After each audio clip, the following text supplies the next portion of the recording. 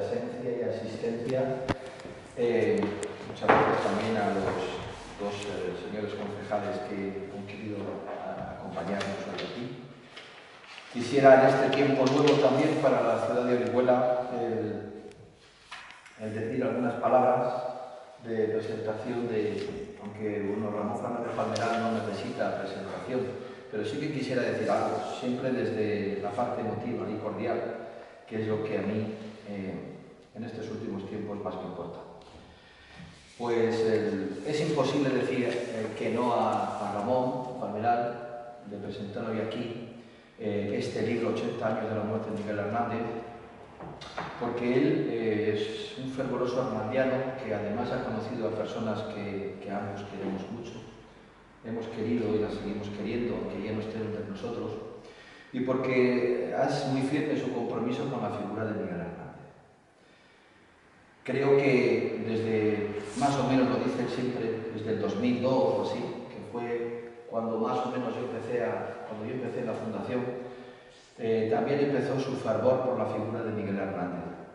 Y además, eh, como en mi caso también, siguiendo los pasos de nuestros mayores hermandianos, que en su caso fue eh, también, como el mío, Gaspar Peralbaeza, Vicente Ramos y tantas otras personas que ya no están con nosotros. Siempre en este caso nos ha hermanado mm, precisamente ese magisterio mm, fecundo que quizá mm, en estos últimos tiempos a mí me ha removido precisamente por, y me ha hecho recordar que somos lo que somos gracias a personas que, que han estado con nosotros. En el libro que nos hoy vamos a presentar reúne 31 trabajos sobre Miguel Hernández que no pudieron ser incluidos o que no fueron incluidos aquí en este otro anterior creo que aporta, creo que aporta eh, visiones eh, poliédricas de la figura de Miguel Hernández, siempre con un tono, creo que, eh, un, tono que se puede seguir, muy didáctico, sustentado en bibliografía y yo creo que esencialmente también con un tono cordial. Porque a veces los libros eruditos, pues fríos, no nos llegan al corazón y yo creo que en este caso sí, porque nacen de las vivencias y nacen también de la, de la aventura que es la vida que ha tenido Ramón. Creo que en este caso, bueno, Julio Calvet, que es el que ha hecho el prólogo, no ha podido acompañarnos, que queremos disculparle porque está enfermo por COVID, iba a venir, pero no ha podido ser. Y bueno, pues lo queremos, lo queremos disculpar. Otra persona también que siempre, eh, Oriolano, que, de pro, que, que quiere su ciudad y que quiere las cosas también de Miguel Hernández y que no ha podido acompañarnos, aunque, que queremos eh, mostrar nuestra gratitud y nuestro deseo de pronta recuperación.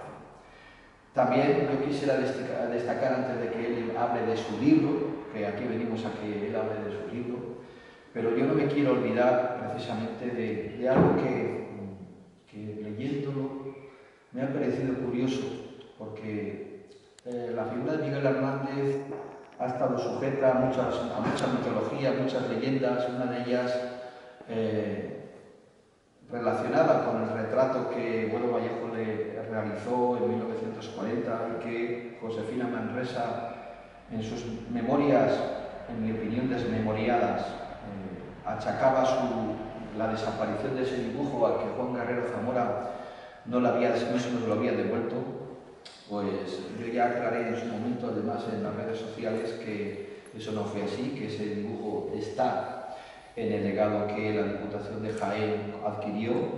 Eh, también sería, no, vamos a, no me voy a meter, que últimamente me he metido en jardines eh, que no me correspondían, pero algún día habría que hablar en serio del tema del legado de Miguel Hernández, pero ahora estamos para decir que eh, precisamente ese, ese, ese, dibujo que quería, que además lo, comenta Ramón, pues siempre lo tuvo Josefina y, bueno, pues eh, Juan Carrero Zamora eh, lo devolvió de caras atrás.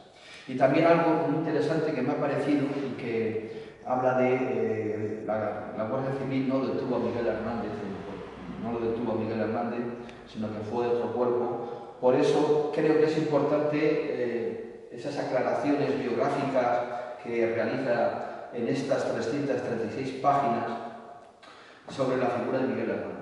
Luego está, sabemos, la biografía de José Luis Ferris, que acaba de, de sacar la tercera edición, que presentaremos aquí el próximo 12 de mayo, en, en.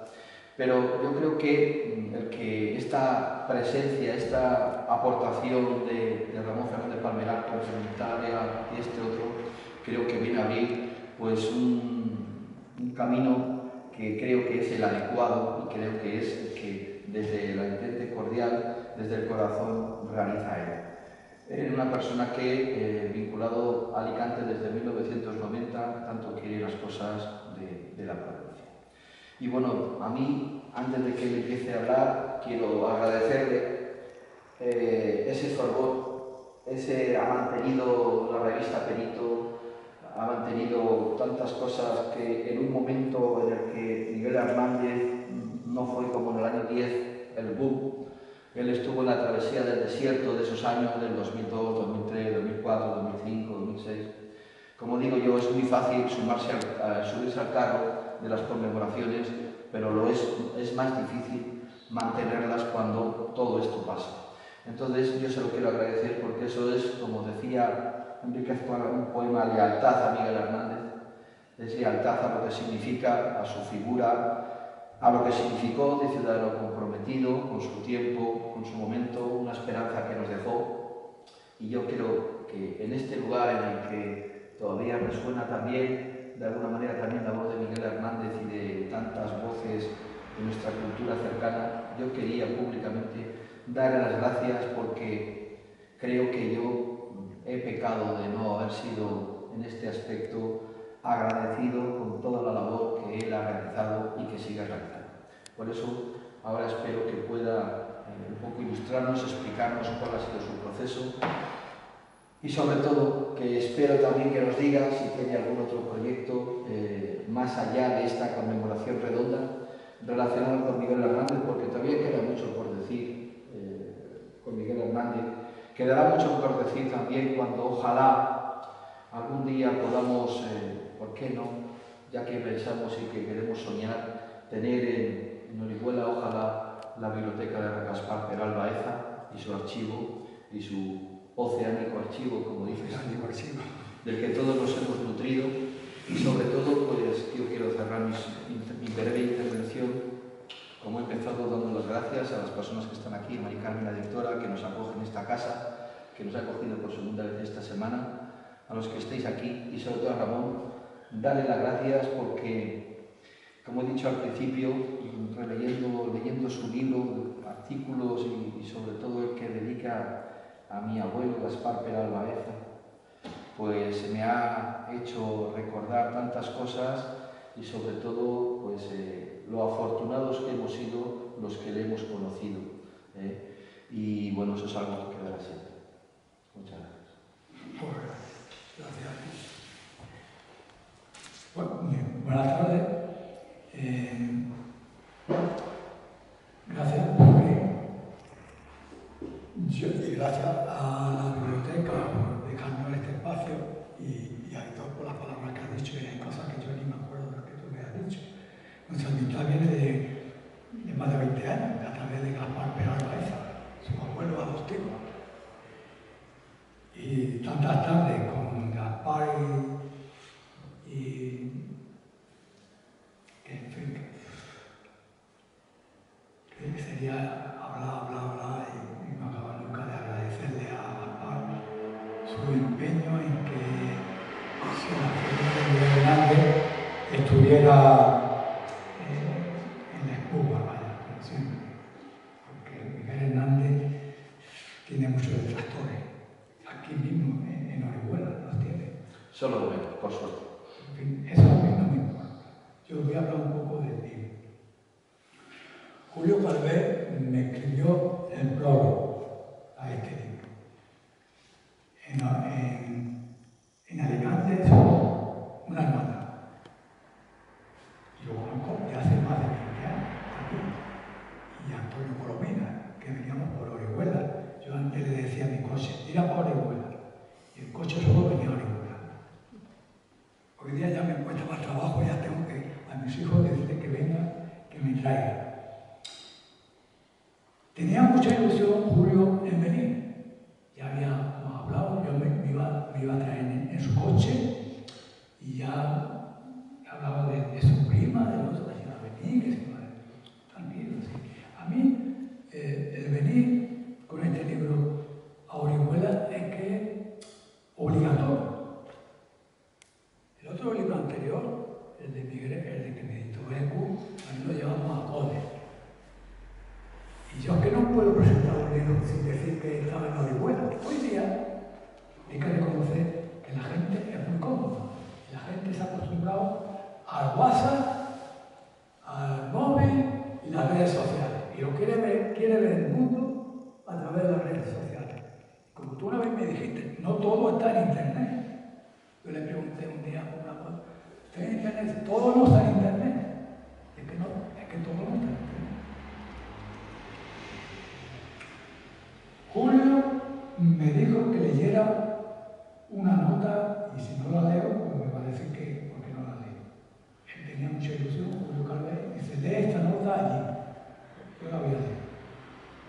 Distinguido amigo, lamento comunicarte que una circunstancia sobrevenida e imprevista me impide desplazarme a Orihuela para acompañarte en la presentación este día 29 de abril de tu libro, 80 años de la muerte de Miguel Hernández, 1942-2022, en la Biblioteca Pública María Te ruego aceptes mi disculpa, que ruego transmitas a los organizadores del acto y, y a la dirección de la referida biblioteca pública, también a los asistentes, agradezco profundamente que decidieran que te hiciera el prólogo de, de tu libro, presenta, presenta, y tiene, y tiene ocasión de leerlo, comprobará la alta consideración que tu obra literaria y artística tiene. Recibe un abrazo en esta primavera hernandiana Alicante para Orihuela, 29 de abril de 2020. Este libro se publica en Amazon, porque yo ya me he hecho un cómodo también. Antes de en una editorial supone una subrogación a la editorial. Ven para acá, ven para allá, presenta aquí, presenta allá y después las ganancias, hoy día los libros que no quiere nadie. Pero eso a mí no me importa, eso a mí no me importa. Luego te dije a Jode, a Vicente Pina, compra unos libros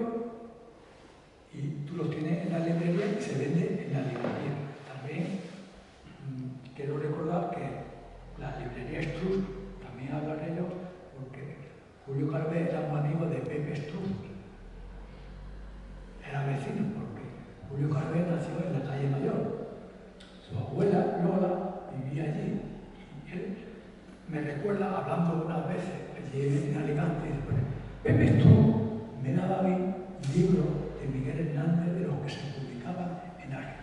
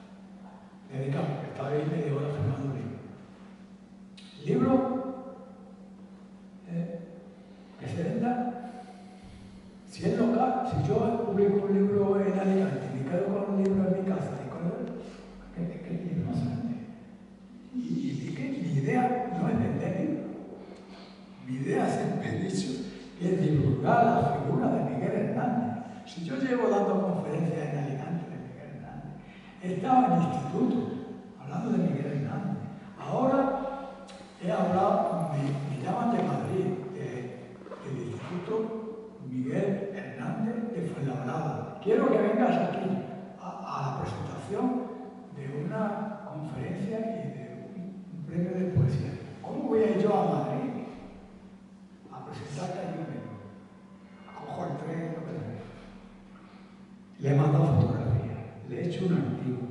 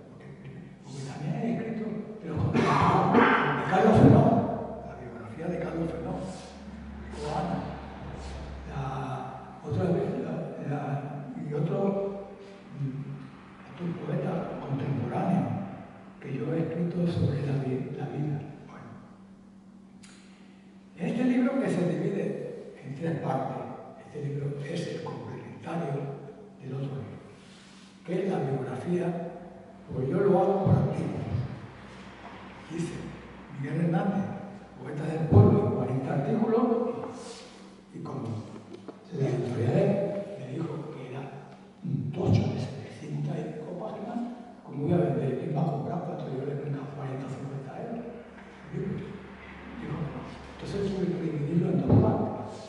Pero también me vino bien A ver, espera un poco tiempo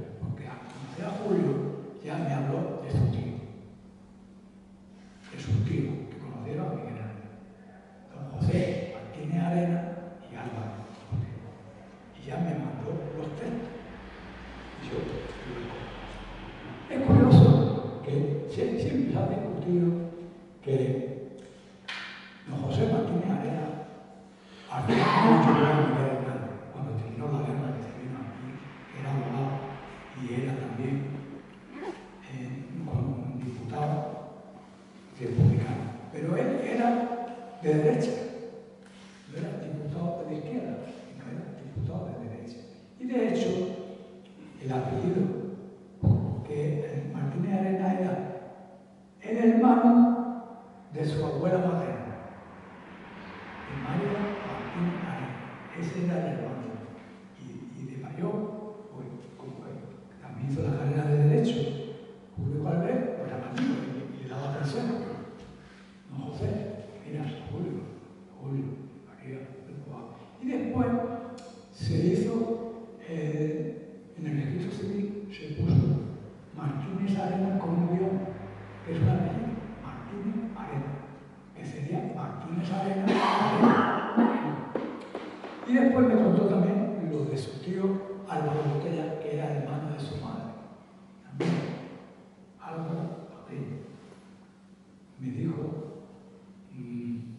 Miguel Hernández, mi abuelo, mi abuelo materno era médico forense en Madrid.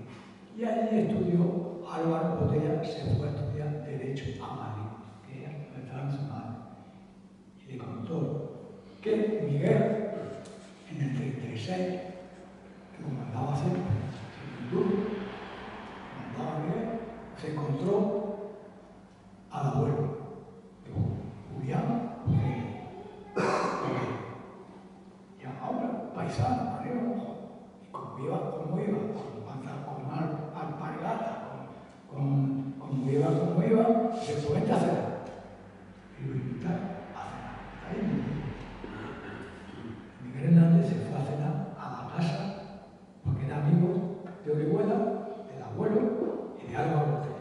Estando allí la abuela, Lola le dijo, ¿cómo, cómo va con esa alpargata tan vieja, rota, que está por Madrid, que se anda de perder?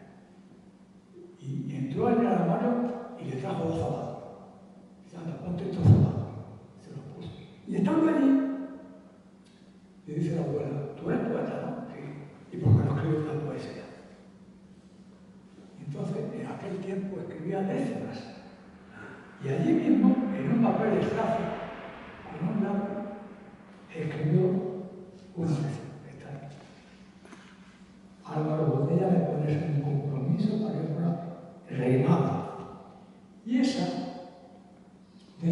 90 en obras completas.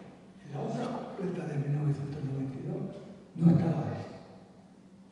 Y la vecina la cogió Álvaro ella y la puso en los manos. Y cuando se murió, desapareció. Pero alguien se ve que hizo una fotografía. Yo no sé cómo. Yo tenía una. Que la, que la, que la voy yo a, que la voy yo a fabricar. Y precisamente eso es. La décima después aparece más, más adelante. Pero yo voy a leer, leer allí. Un poeta que se pone a escribir de improviso. Lo primero que le viene a la cabeza, eh, dice, amigo Álvaro Botella, me han puesto en un trance amargo, pero sabré, sin embargo, gracias a mi buena estrella.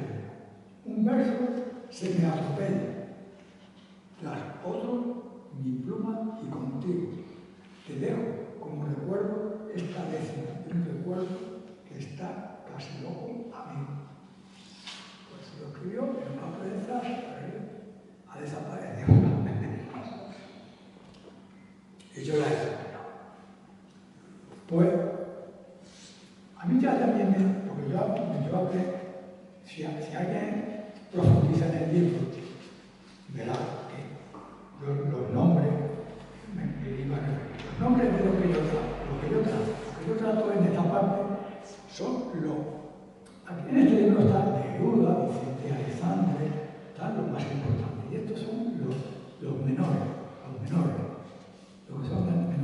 Pero siempre encuentro, trato de buscar algo que no se haya dicho. Y la biografía, por ahí, claro.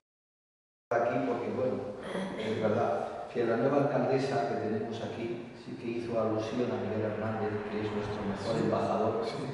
Que yo creo que independientemente de quién gobierne, me refiero, de qué partido gobierne deje de gobernar, hay que tener claro que Miguel Hernández es nuestro embajador esencial y primero, del que tenemos que sentirnos todos eh, orgullosos y orgullosas. Y yo creo que, eh, como dice ese verso de Dejadme la esperanza que está eh, en la fundación, en la fachada de nuestra entidad, es lo que nos queda a nosotros. Tú has comentado lo de la juventud, lo de los niños, Espero también que los responsables o la nueva responsable de la Concejalía de Educación también pues, eh, vayan ese, ese, ese camino, que tome ese camino, que cultura, patrimonio, porque yo he defendido siempre que Miguel Hernández es un asunto transversal, no es un asunto de un negociado concreto. Si uno ve, es mi opinión, ¿eh? es mi opinión, y yo creo que si uno parcela demasiado, ella estará. Miguel es cultura, es educación, es patrimonio, es gastronomía, es en todos los ámbitos posibles, es, también negocio, es futuro. Y eso es lo que yo creo que debería ir ahí un poco para que la agenda de los responsables que nos gobiernan, espero a partir de ahora eh, con sabiduría, ojalá, ojalá tengan la sabiduría, porque seremos los primeros beneficiarios, lo tengan claro. Y lo que me has comentado del futuro, pues me alegro que tengas proyectos y que hoy en este día pues, eh, pues los podamos podamos verlo, porque más allá de estos 80 años, esta conmemoración, porque, perdona, yo, eh, yo he sido muy crítico con las conmemoraciones porque nos acordamos en este pueblo, no me refiero a este pueblo, sino en España en general, eh, nos damos mucho a, nos entregamos a las conmemoraciones que nos vienen también, y el año que viene, que es el, el 2023, nadie se va a acordar de, de Miguel Hernández. Yo creo que, como he defendido y lo he dicho siempre, eh, hay que acordarse de Miguel y más concretamente en este pueblo todos los años, todos los meses, no todos los días, porque en fin, no solo de Miguel vive el hombre o la mujer, pero debemos llevarlo con ese orgullo y quiero darte las gracias porque tú que no eres de Orihuela, pero eh, tu coche sí que tiene ya la memoria selectiva para venirse aquí, pues agradecerte también que desde Alicante eh, tengas a Miguel en el corazón, a Orihuela, tú que has venido tanto, tanto por aquí, en los cursos de verano que hemos compartido desde la UMH, este, ya te adelanto que este año va a haber curso de verano también, vamos a tener un curso de verano aquí, en, la, en, la, en las Salesas, y bueno, pues darte las gracias de verdad por, por habernos recordado a Miguel, por habernos traído este libro, por recordarnos a personas esenciales y, y por tu disposición siempre estar. Es que, como tú dices, Miguel Hernández, es que a Orihuela no la conoce nadie. Conocen que Miguel Hernández nació en Orihuela. Es que en el mundo hay, es que en España hay cuántos pueblos hay. Y hay otro Orihuela que está por ahí, por abajo. Miguel Hernández, hoy el 80 aniversario. Yo he escrito con mucha ilusión este libro, porque yo para el centenario no daré.